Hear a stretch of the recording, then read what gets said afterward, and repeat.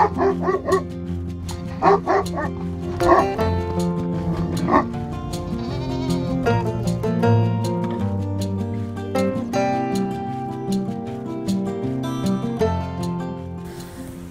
to learning about LGDs on site. In today's video, we will cover grooming your livestock guardian dog, some tools to use, and breeds that may need extra care.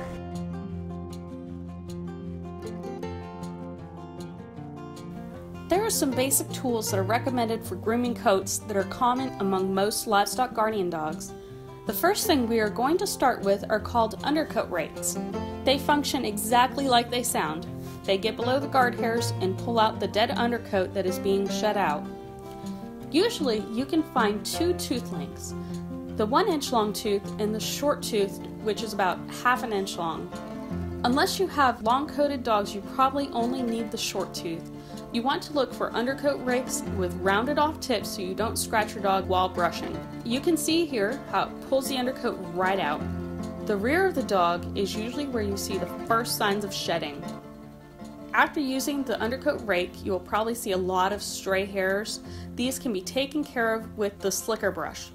We have two different selections of slicker brushes here, a hard slicker and a soft slicker. The shape doesn't matter, the only difference is that one has squishier bristles than the other. This is a finishing brush, so it will clean out some of the dirt and loose hair and make the coat look pretty and fluffy but it will not get very deep into the coat. By itself, it's not going to help a whole lot with shedding. And also, the direction with this brush matters. You want to use it with the coat rather than against it. So head to tail, not tail to head. These brushes also work great if you have a dog with dried mud stuck to its coat. Once it's dried out thoroughly, the brush will just get it to flake off a little bit faster than it would naturally. There are also pin brushes, and these are sold almost everywhere for dogs. Uh, they look a little bit like people brushes. This one has bristles on one side and a pin brush on the other. This brush is similar to the slicker brush. It's primarily going to be a polishing brush rather than a de-shedding brush. So again, this is good for, you know, just just making the coat look pretty. If you have a long coated dog or dog prone to mats, you can use a comb to remove those. There are a couple varieties of combs available. This one is called a greyhound comb. It has a coarse side, which means the tines are further apart, which is useful for just the first brush through when you want to just make sure there's no big mats or or also on the initial breakup of a mat. And the fine side has tines that are closer together um, so this can be used to make sure that there's no tiny little tangles and just as a, as a final comb through of the dog. Here we also have a double-sided comb and that has both a coarse and fine side. And the dog that we have with us today doesn't really get mats, but every so often she will get a small dreadlock behind her ears. To break up a mat, we do is start by separating the hair as best you can until you can isolate the mat. So you're wanting to try and just work with the hair that's matted. Take a sturdy greyhound comb and using the comb, start at the very end of the mat and slowly but surely break it up as you work down. You do not want to cut this mat out if at all possible.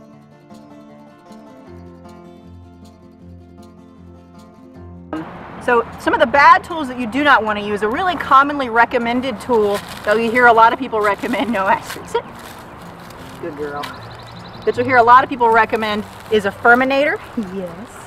Um, you do not use a Furminator on this coat type. Furminators are basically an offset version of a stripping knife, which was developed for wire coats. And LGDs do not have wire coats. They have double coats. So what happens with a stripping knife is all this gl glossy guard hair where the you know, the stiff part that gives the coat its color, it ends up getting stripped, which causes the ends to fray, which takes away its water repellent properties and its dirt repellent properties and makes it more prone to matting and tangling. Furminators damage the coat. They will, some people will tell you that they don't, but they do. They absolutely damage the coat. They strip the hairs. We actually have some stripping knives and we're going to show you a comparison between the two. So we have our Furminator and then this is a stripping knife, and you just, they're exactly the same thing, it's just the blade is set on differently. These are designed for wire coats only, and you do not use them on LGDs. Um, you probably don't want to waste your time using a shedding blade. It will pull off some loose hair, but again, it's not going to get underneath where the actual undercoat is like a rake will. So it's just kind of a waste of energy. It's not really going to hurt anything, but it's designed for short coats like you'd see on a horse or a short coated dog like a boxer. And it's just a waste of effort for a dog with a coat like this.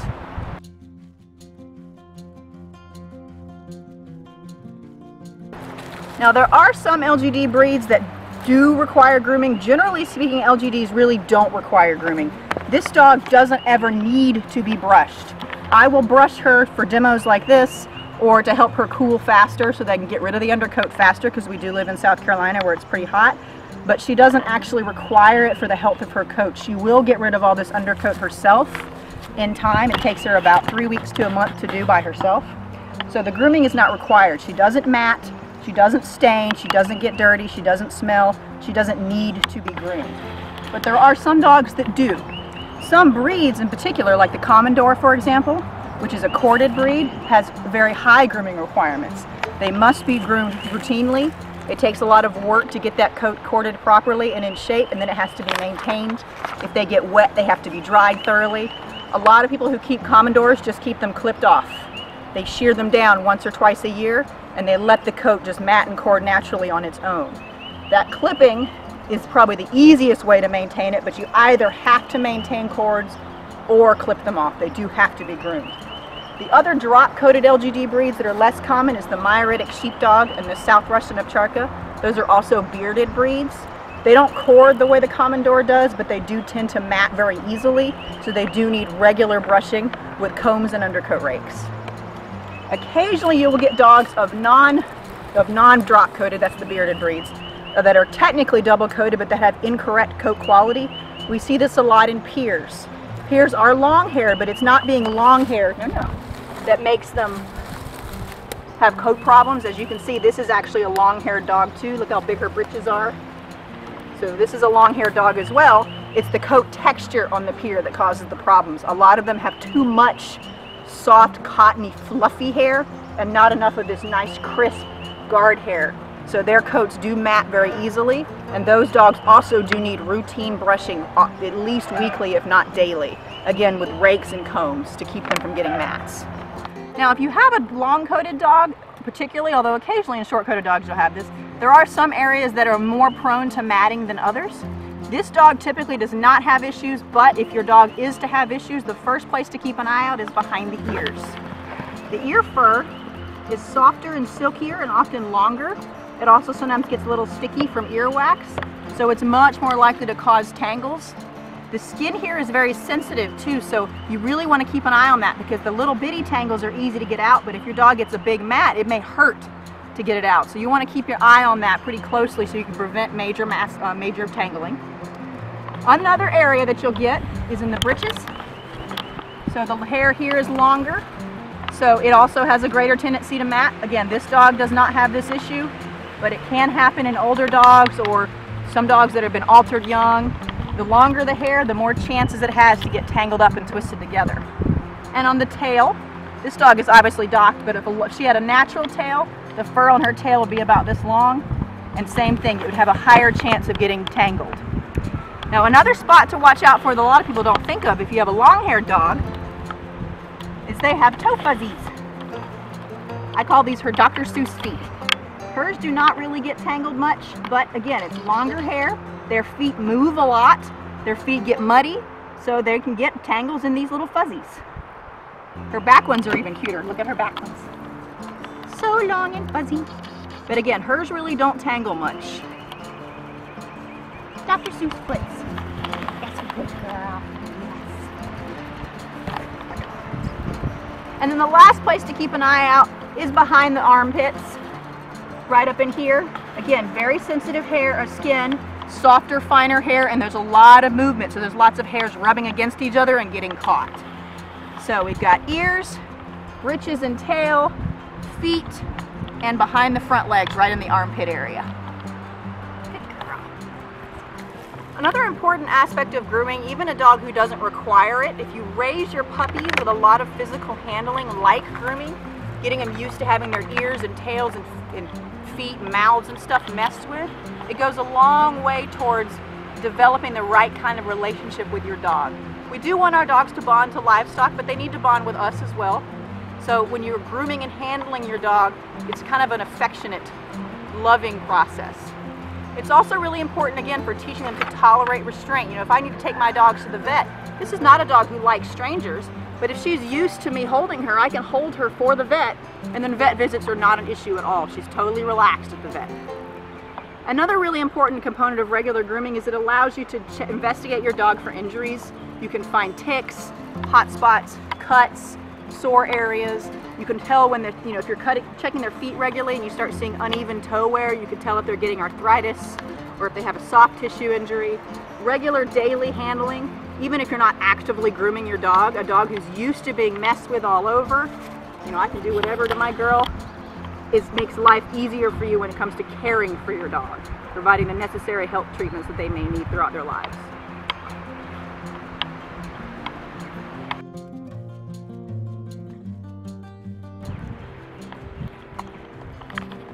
Now some people are shocked when they see their dogs getting rid of their winter coats for the first time, especially if you live in a really cold climate, because when they start to blow their coats, not only is it a massive explosion of hair, but the dog itself may look terrible for a while. This girl has the advantage of always looking like a movie star no matter what, but we have dogs that get big chunks of fur sticking out everywhere. It's dead coat, so it gets a funny color. It looks really dry and gross. Sometimes they look like they have mange. They look terrible. And a lot of people mistakenly believe there's something wrong with their dog. There's not. It's normal. It's just called coat blowing. It happens twice a year. The big one is in the spring when they get rid of their winter coat, and then there's a smaller one in the fall when they're getting rid of their summer coat to prepare to grow their winter coat. But all this stuff coming off is totally normal. They'll do this for, depending on where you live, a couple weeks to a couple of months. The colder your winters, the bigger your coat blows are going to be in the spring. And it's not a cold place down here, but we did have a particularly cold winter this year, so our dogs did get extra hair, so their coat blowing is pretty major right now. It is important, however, no matter how hot it gets, to not shave your dog. If your dog has a healthy, normal coat, they should never be shaved. Shaving actually can damage the coat permanently, but it also removes the protective qualities of the coat. She doesn't have this just to keep her warm. She has this to protect her from thorns. This protects her in a fight. If she gets in a fight with coyotes, they're gonna get a mouthful of hair, not skin. This protects her from water and rain and dirt and debris. If she gets wet, it runs off of her. It doesn't get down to her skin. If it's muddy, the mud dries and falls off. In the fall when we're out here, we have all those little beggar's lice sticky seeds. They'll stick to her hair, she'll shake, they'll fall right off so she doesn't get things tangled up in her hair where they can get to her skin and cause harm. It also protects her from the sun. So you can barely see it, but her skin is actually white. She doesn't have pigment in her skin, so she could get sunburn. If she didn't have this hair protecting that skin, she would get sunburn on all that white skin. Look at her pretty gray undercoat. And then it also actually protects them from heat. All this fluffy stuff falls out, but all this crisp, long stuff stays on and it protects her from the sun's rays hitting her skin and making her body hotter. So the top of her fur will be hot, but underneath will be much cooler and there's airflow because the undercoat is gone. So unless your dog has a severely matted to the skin coat all over, you do not want to shave. This dog has never been shaved. This dog should never need to be shaved. There are a few exceptions. Um, for example, one thing that can sometimes happen is if a dog is spayed or neutered, it can change the texture of their coat. And if they're not combed out regularly, they can get very severely matted. Those dogs may need to be shaved and then started over again. Very elderly dogs or dogs who have health issues that allow them to make it hard for them to stand still long enough to be properly groomed out, they may need to be shaved just for their own well-being. And some dogs like the Komondor and the Mioritic and things like that, if their coat has not been properly maintained, it'll probably need to be shaved at least once a year anyway.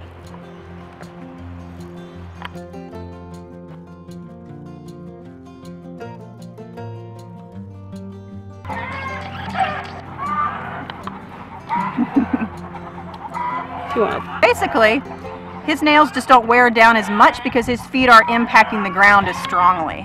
So when I go to trim his nails, he has white nails, so this makes it easier. And most of these dogs do tend to have light colored nails, which is great. Not always, but usually. If you look at it, it's just like your own nail.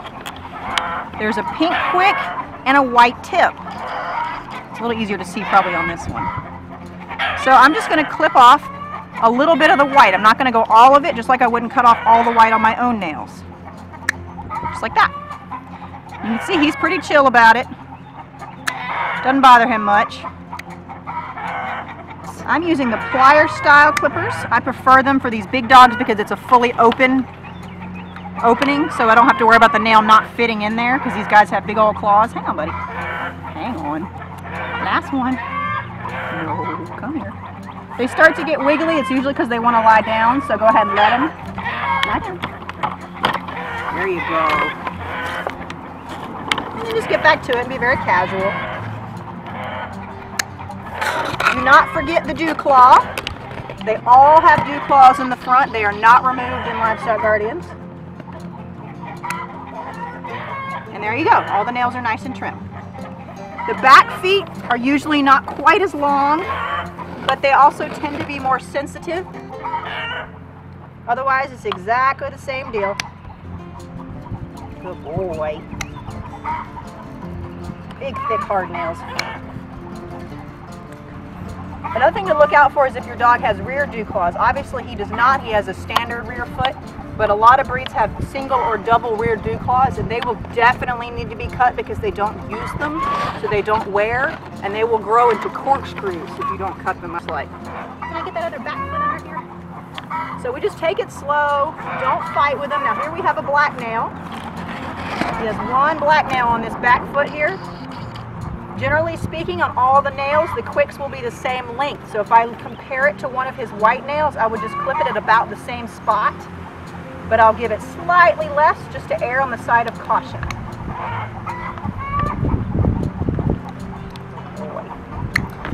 They're all black. Start with little bitty bits, kind of like you're shaving it, until you start to see the nail change. So if you look at it straight on, and then it's kind of got a hollow section where there's some mud and dirt under there. So if I go to cut it, it's still kind of the same. When I start to get close to the quick, that will change. And on a black nail, it's even easier because the outside of the nail is black and the inside will be lighter white. See how that's lighter there? So we have we our nail plate here, and on the black nail, that would be black. This spot right here is where the quick is starting to be revealed. It's not quite revealed or it'd be bleeding. But see how it's a lighter color? It's real obvious on a black nail. You would not want to cut any deeper than this. And like his thing is not that he doesn't want my messing with his feet. He just doesn't want to like hold one position unless he's really laid back. Unless he's just laying. He gets lazy and wants to lie down. Give me that one last little dew claw. Oh, good boy. Ah, that's a good boy. That's such a good boy. And then always reward your dog. When they're young, I use lots of cookies. I like to stick peanut butter in their mouth so they're busy licking that instead of worrying about what I'm doing. By the time they're grown, they're so used to it that I can just snuggle them and that's good enough. They're such a good boy. yes. You gonna give me your foot? You gonna give me your foot? Hi, babies. Thanks so much for watching.